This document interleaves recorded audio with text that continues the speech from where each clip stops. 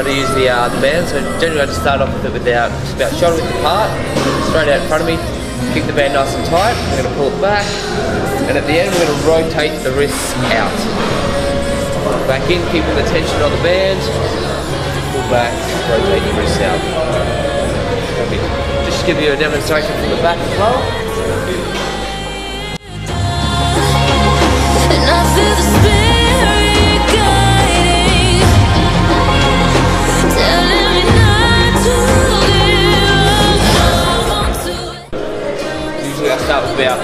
four sets of those, about 15 to 20 reps to start warming up. Mixed with a few other things that we're going to show you today as well. So now what one that we do that we agree on doing when we are training chest, we use the stick. So we do something that is called dislocators. And that's because when you're going back, all the way back, or like a halfway, you're going to feel like an uncomfortable like movement there.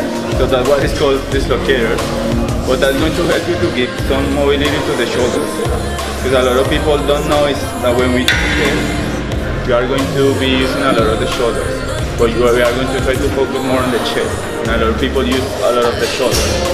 So when you isolate the chest a little bit more, you will be feeling more the pump and the fibers in the chest instead of the shoulder. And then you will be avoiding to get hurt.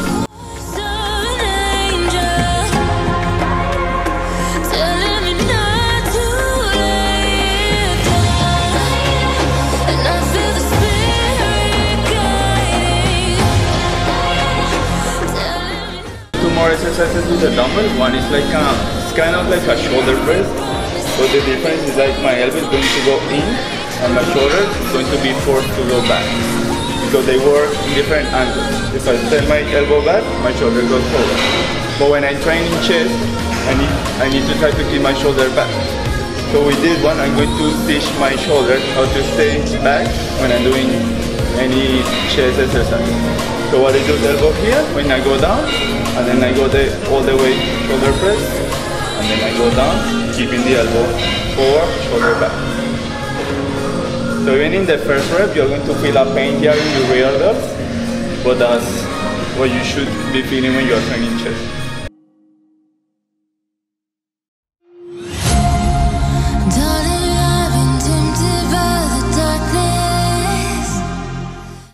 That I do is um, I used to have like a pinch here on my shoulder. So what I do is like a rotator. So what I do all the way up. So gravity goes down. So with my rear delt, I'm going to force the dumbbell to go up. Going to be the opposite. Yeah. So I'm going to here to warm up my rear delt.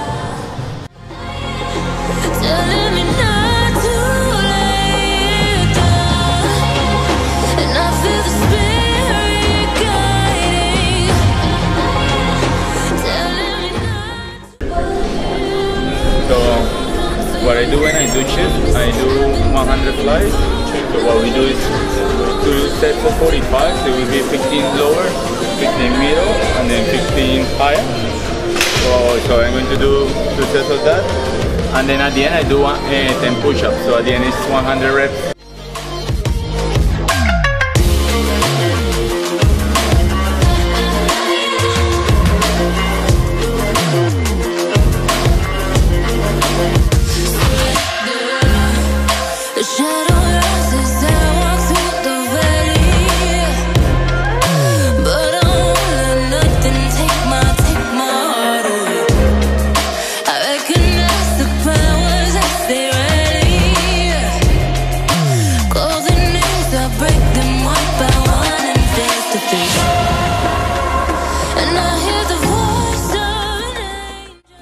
So guys, we're going to start off with one of my favourites, flat bench.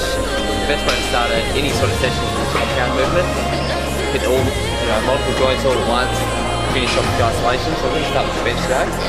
Now, the way I generally like to start with it, sit on the bench. Now we want to make sure when we sit down our scapula is nice and tight and pulled back. So that's what we set first. We come back here, pull the shoulder blades together, straighten them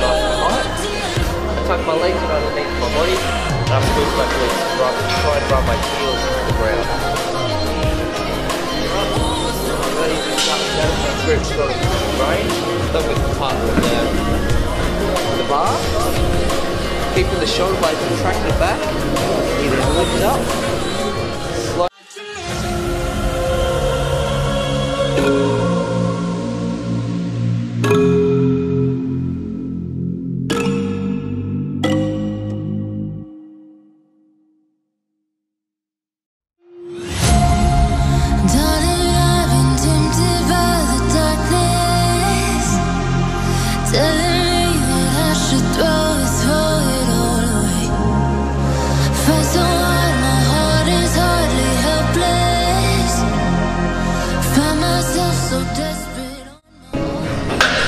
So now we just finished the compound. So we did four sets of that. So we did it by itself because the compound is better just to keep it that way. Then we, we come to the incline, but this is a functional machine, so it will be a little bit easier than the free barbell.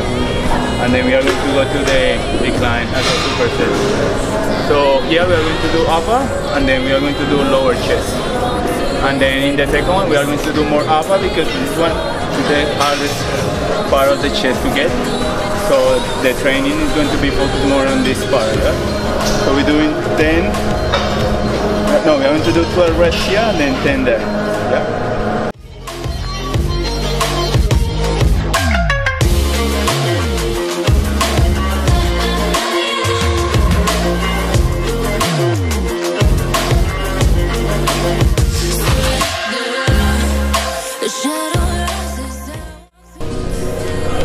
So you can see that I tried to squeeze my back and I went down and then all the way squeeze my chest.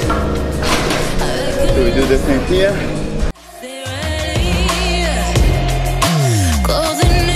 Break them one by one and face to face. And I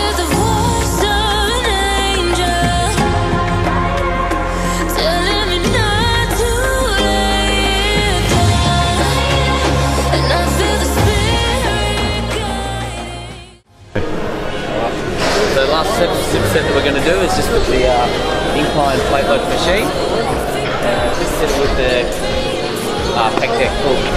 Going to finish off with a nice tight squeeze and just target the top of the chest. As we said earlier in the video, one of the hardest muscles to hit. So hit that a little bit more in a session, and we'll get the uh, results later down the track.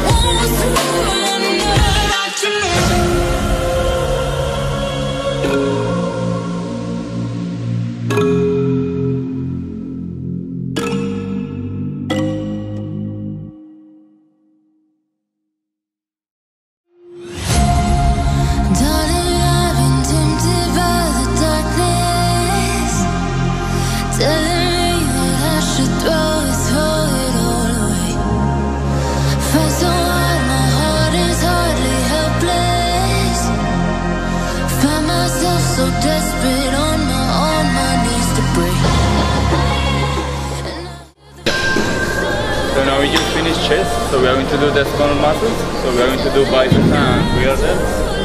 This one is very important to train because you want to fix your posture. So the shoulder to be back. So this one will help you to pull this part back. So you will help you to fix everything from the front to the back.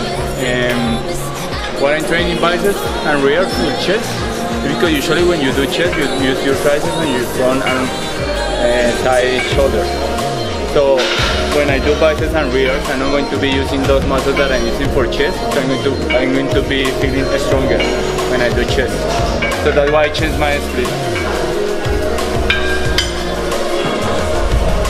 We go S bar curve, we do 12, and then we jump to face pulls 15 reps.